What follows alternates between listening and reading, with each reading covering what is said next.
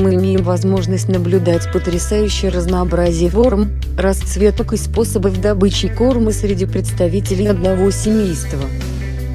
Согласно данным анализа ДНК, видообразование среди ванг шло достаточно быстро. Так, общий предок абсолютно схожих окраской, но разительно отличающихся морфологией белоголовый и серпоклювый ванг жил всего миллион лет назад. Белоголовая расписная ванга вид воробьиных птиц из семейства ванговых единственный в роде Артум или точка. Эндемик острова Мадагаскар.